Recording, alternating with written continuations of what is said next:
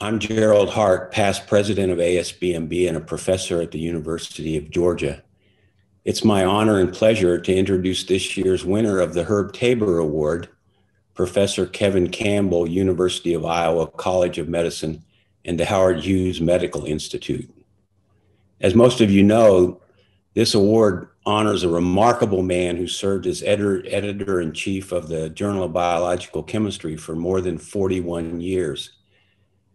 Dr. Tabor was also a world leader in the study of polyamines, and he has the distinction of, of being the longest serving employee at the National Institutes of Health forever. I mean, he, uh, he was worked there for 71 years. Dr. Tabor also pioneered the conversion of JBC from print only to online only in 1995, making JBC one of the earliest online journals in the biological sciences. Unfortunately, Dr. Tabor passed away in August 2020 at the ripe old age of 101. Kevin Campbell, the 2020 Herb Tabor Award winner, is widely recognized for pioneering work in muscular, muscular dystrophy. He discovered the protein dystroglycan and established its roles as an extracellular matrix receptor at neuromuscular junctions. junctions. Dr. Campbell's laboratory elucidated the key roles of glycans in dystroglycan and established the genetic and molecular basis of defects in various types of muscular dystrophy. As a result of his pioneering work, he has received many awards, including an election to the National Academy of Science in 2004. Please welcome Dr. Kevin Campbell, and we look forward to what undoubtedly will be an outstanding lecture. Good morning. I'd like to thank Jerry Hart for his very generous introduction and the ASBMB Awards Committee for being selected as a 2020 recipient of the Herb Tabor Research Award and Lectureship. I am extremely honored to receive this award, which is named after Herb Tabor, who I greatly admire. I have known Herb Tabor since my postdoctoral studies in David MacLennan's lab. I can still remember how excited I felt when signing a letter to Herb upon submitting a paper to the Journal of Biological Chemistry. As you can see in this slide, I still have some of those letters I sent to Herb back in the 1980s. At that time, I felt, and I still do, that Herb Tabor read all the papers I submitted to JBC. So today, I would like to thank Herb for being my JBC mentor for many years. He was a great mentor, and his passing is a great loss to, to the JBC community. The title of my lecture today is Structural Basis of Dystroglycan Function and the Pathogenesis of Muscular Dystrophy. These are the disclosures I have. For today, I'd like to first introduce the audience to dystroglycan, then discuss the post-translational processing of dystroglycan and its glycosylation, which is required for it to function as an ECM receptor. I will then present matriglycan and its structural interactions with ECM proteins containing laminin G-like domain proteins. And finally, I will discuss some recent data on POMK regulation of large one mediated elongation of matriglycan. So to begin, Dystroglycan is a widely expressed cell membrane receptor for laminin G domain containing ECM proteins, such as laminin, agrin, and perlecan. It is also the cellular receptor for arenaviruses, such as Lassa fever and LCMV. In general, it maintains and organizes basement membranes by binding these ECM ligands with very high affinity. It's involved in various developmental and physiological processes, and especially in muscle and brain. And it requires extensive O-glycosylation and post-translational processing for its ECM receptor function.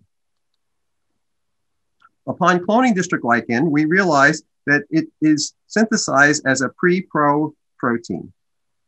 During its initial synthesis, the signal peptide is removed and it autocleaves itself into two portions, which we named alpha and beta dystroglycan.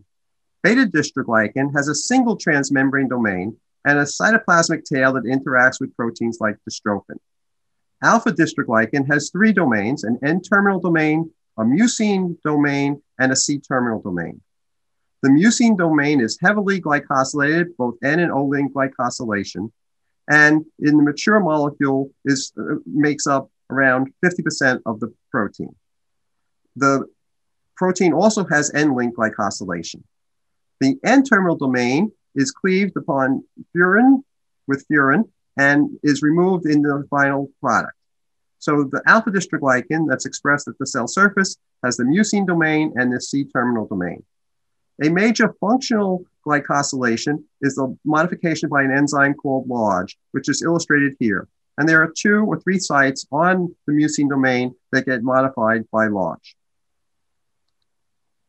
The functional glycosylation of dystroglycan requires over 18 different enzymes. I'm just illustrating a few of those enzymes here. Most of the other enzymes involved in providing substrate for this process.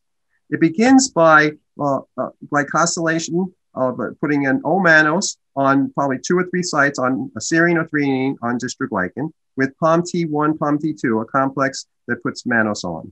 Then POMGNT puts a GlcNAc on, and following Pol B3 GalNT2 puts GalNAc. Once this trisaccharide is formed, POMK phosphorylates mannose in the sixth position. We then have fukutin, or FCMD gene product, that adds ribitol, uh, ribose 5-phosphate, and then FKRP adds another ribose phosphate. Once this is added, then TMEM5 and B4GAT1 add a xylose and glucuronic acid. And this is an acceptor substrate for the enzyme LARGE. LARGE then adds a polysaccharide of repeating units of xylose and glucuronic acid, which we call matrix matriglycan. Now, LARGE is the enzyme that we have focused on. Uh, it, it, contains a transmembrane domain and two potential active sites. So it, its initial structure suggested it looked like a bifunctional enzyme. We tagged LARGE, removed the transmembrane domain, and tagged it also with a His tag. And you can purify and make a substantial amount of the protein for enzymatic and structural studies. As illustrated here, if you use this uh, preparation of LARGE with two sugars, and if you tag either xylose or glucuronic acid, you produce a polysaccharide of repeating units of xylose and glucuronic acid. We could then purify that polysaccharide, which we call matriglycan, look at its structure, and also obtain quantities for doing biochemical studies. One of those experiments is shown here. Here we're showing matriglycan binding to the LG45 domain in laminin alpha 2. Matriglycan binds with very high affinity, 0.23 micromolar, and this binding is totally calcium dependent. And this is similar to what we had previously seen for the binding of laminin to alpha dystroglycan on extracts. This calcium dependence is due to the calcium that's bound in the LG45 domain. We then collaborated with Erhard Hohenester to show the structure of the interaction site between matriglycan and the LG4 domain. As illustrated here, the uh, disaccharide of xylose and glucuronic acid chelate the calcium and interact with the backbone on laminin to form this high affinity interaction. So the, this the single disaccharide is required for this high affinity interaction. So in summary, LARGE is a bifunctional glycosyl transferase that has both xylose transferase and glucuronic acid transferase activities. LARGE produces matriglycan, a polysaccharide that consists of repeating units of xylose and glucuronic acid. The, this single disaccharide directly binds to the LG domain containing ligands, and matriglycan serves as a tunable scaffold, which I'll discuss more later. So this is now an illustration showing the, the extended structure of matriglycan. We really still do not know the total number of repeats. Likely it's 30 or 40 repeats of xylose and glucuronic acid. And this is the initial synthesis of the precursor molecule glycans that are required for initiating matriglycan synthesis. Now, this extended structure, it can be variable depending on which tissue you're looking at. So skeletal muscle, the, the band centers around 150 kilodaltons. In heart, the matriglycan is longer. The molecular weight of dystroglycan is around 200. Uh, in brain, it's around 100 kilodaltons. In other tissues, it also varies. The binding to laminin also varies, and the higher molecular weight has the higher capacity binding uh, to laminin. During uh, myogenesis, if you take C2, C12 cells and, and uh, let them form myotubes, you can see the expression and the length of matriglycan increases uh, during myogenesis, that's seen in alpha DG, where the beta DG uh, remains constant. It, it increases in expression, but its size does not change. Now, the best characterized form of dystroglycan is from skeletal muscle, where we isolated in a complex with the dystrophin, the sarcoglycans, and some cytoplasmic uh, cytoskeletal proteins. If you look at the, this complex in muscle where dystrophin is missing in patients with Duchenne muscular dystrophy, illustrated here, the absence of dystrophin, the entire DGC complex, including the alpha and beta dystroglycan, are dramatically reduced. So without dystrophin, this complex is probably not stable and gets degraded. Now, this complex is also the site for other forms of muscular dystrophy. If you're missing laminin 2, the muscle form of laminin leads to a congenital form of muscular dystrophy. The sarcoglycans lead to several different forms of limb-girdle muscular dystrophy. And finally, what I'll be discussing today, the abnormalities in matriglycan synthesis or the reduction in matriglycan synthesis leads to the dystroglycanopathies. So the dystroglycanopathies were originally described as very severe uh, Walker-Warburg Walker syndrome-like dystrophies. However, now we know there's really a spectrum of phenotypes from milder limb-girdle muscular dystrophy through uh, congenital muscular dystrophy with or without brain involvement, muscle-eye brain disease. So there's a really a range of clinical phenotypes. And they're all caused by a deficiency in matriglycan that is required for dystroglycan to function. Illustration here, illustrated here is an example of immunofluorescent staining with antibodies to beta dystroglycan, to the core protein of alpha dystroglycan, and to matriglycan. These are two antibodies that we developed. Originally, we, we thought they were just recognizing the unglycosylated form of dystroglycan. We now know they bind specifically to matriglycan. So in control muscle, the beta dystroglycan is surrounding each muscle fiber. Same thing is true in muscle eye brain disease. If you look at the core protein, you see the core proteins expressed in control and in the, the dystroglycanopathy biopsy. However, matriglycan is almost completely absent in these cases. We've also developed an assay where we can use patients' uh, fibroblasts. These are skin fibroblasts from patients. Here we're illustrating in control fibroblasts, nice uh, alpha dystroglycan, nice synthesis of matriglycan, laminin binding, and the core proteins. In these five, six cases, we're dealing with very severe phenotypes where there's almost no activity of these enzymes, POMT1, POMT2, POMGNT1, fukutin, and FKRP and large. And there's no glycosylated dystroglycan, no matriglycan is expressed, no laminin binding. However, the core proteins are, are present. So this illustrates quite nicely a technique that can be used for diagnostics uh, because it, it uh, alleviates the need for a muscle biopsy. At this around the same time, we found a mouse model that was missing large. This mouse had, had been in Jackson Labs for a number of years, and it has the same phenotype as we've seen before. There's no staining with the anti-matriglycan antibodies. There's no staining here on Western blots, and there's no laminin binding. Now, th- there's a question comes up sometimes, are there mutations in dystroglycan? And most cases, if dystroglycan has a loss of, of function or loss of protein expression, it's probably lethal. Uh, we know in the mouse model, dystroglycan is required for uh, the formation of Reichert's membrane very early in development. But there are mutations, uh, in, milder mutations in dystroglycan. This is the case where there's mutation in the N-terminal domain, which was quite surprising to us because this is the domain on dystroglycan that's removed by furin. This patient had a limb-girdle muscular dystrophy, had CNS abnormalities, high CK, and was in a conserved residue in the N-terminal domain. When we made this mutation in dystroglycan and expressed this form of dystroglycan in dystroglycan null myoblast, we found wild type expressed nice uh, staining with 2H6, the anti-matriglycan antibody. However, the mutation was, was dramatically reduced. The same thing was found for, for laminin binding. So in this case, there's a mutation in the protein that leads to the hypoglycosylation or the reduction in matriglycan uh, synthesis. I mean, we now know that this, this form of dystroglycan, the DGN or the N-terminal domain of dystroglycan interacts with large. And so without this interaction, there's a dramatic reduction in the synthesis of matriglycan. This is an important case because it illustrates uh, a case where all the other enzymes are normal, they're all expressed at normal levels. However, the defect is actually in this interaction between large and dystroglycan. So in summary, the dystroglycans are muscular dystrophies caused by abnormal dystroglycan matriglycan uh, synthesis on dystroglycan. So in normal skeletal muscle, this complex of proteins uh, is it links the cytoskeleton through dystrophin, through the membrane into the basement membrane that surrounds the muscle cell. And it's involved in maintaining muscle membrane integrity. It's also expressed and involved in the structure of the neuromuscular junction. It's involved in force transmission and in muscle regeneration. In the dystroglycanopathies, the entire complex is expressed. We've demonstrated this in the MYD uh, mouse model. But however, with the absence of matriglycan, we no longer link into the basement membrane that surrounds the cells. And it leads to these various forms of dystroglycanopathy. So now it's quite easy to see without LARGE, you wouldn't synthesize matriglycan. You'd end up with the, this LARGE primer. And so you wouldn't have a functional molecule. Without FKRP, you wouldn't synthesize the precursor or this, the second ribitol phosphate. And again, you would end up with uh, uh, the lack of matriglycan and the loss of function in dystroglycan. However, POMK is quite unique.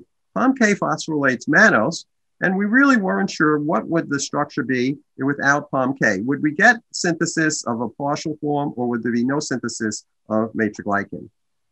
And so we're quite interested in POMK. It's another one of the unique gene products in the, this pathway. It's a glycosylation specific kinase in the ER. It uses you know non-canonical amino acids, so it forms these three disulfide bridges in the ER to form a structure like a, a, a the A kinase and it phosphorylates the, the uh, dystroglycan on mannose uh, to initiate the synthesis of matriglycan. Illustrating the specificity is shown here. If you start off with a fluorescently tagged mannose plus or minus ATP, POMK doesn't really do anything. If you have the disaccharide, there's no reaction. However, once you form the trisaccharide, mannose gets phosphorylated. So it has high specificity for this uh, trisaccharide. Our studies really got a boost when we found this patient uh, from Francesco Muntoni that had a loss of function mutation in POMK, suggesting, like, with the, as with the other enzymes, this patient should have a very severe phenotype. However, this patient uh, uh, actually lived to around uh, three years of age.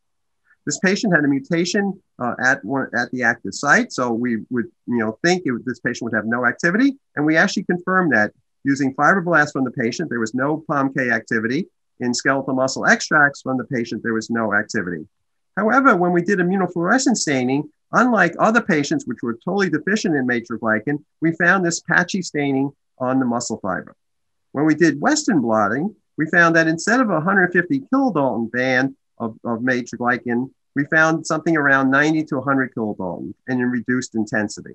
So this suggested that in the absence of POMK, there was a pathway to synthesize matriglycan.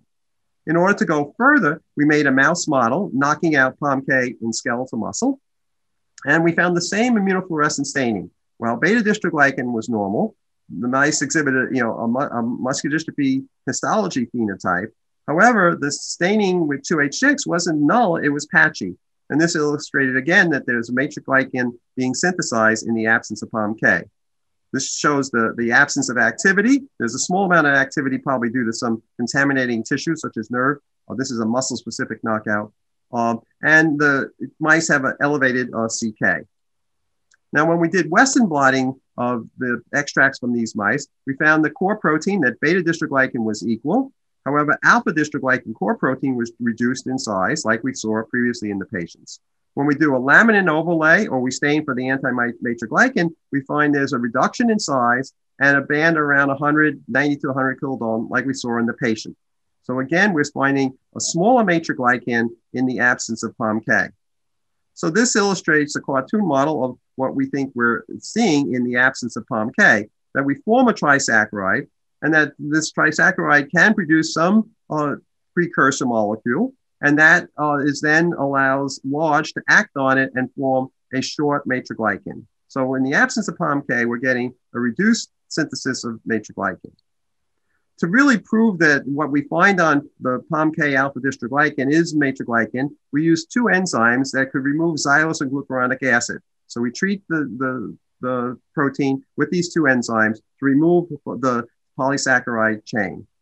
And that result is illustrated here. In wild type, we're, we're staining around 150 kilodaltons, really intense. After treatment with the two enzymes, it's dramatically reduced. We've removed the, the, the xylose acid, we remove, remove matriglycan. In the POMK muscle, band around 100 kilodaltons, and upon treatment with the enzymes, uh, the staining totally disappears. Matriglycan is lost. We can also confirm this with laminin binding uh, from the POMK muscle. It's dramatically reduced. And this also illustrates that this shorter form of matriglycan can bind uh, laminin. We next went to use HAP POMK knockout cells. We can see here that these cells have no POMK activity and they produce a band around 90 kilodaltons in size. It's the same with the anti-matriglycan or same with uh, uh, in the laminin overlay assay. We express in those cells wild type POMK, we can rescue the activity and rescue the normal size uh, matriglycan. If we express mutants of the active site, we see there's no activity, there's still normal large activity, and we still get this 90 kilodalton band. So this suggests that without POMK, we can synthesize the small matriglycan molecule. We next wanted to see, you know, which enzyme was synthesizing matriglycan, because there's two, both large one and large two, and where was it definitely being synthesized on dystroglycan.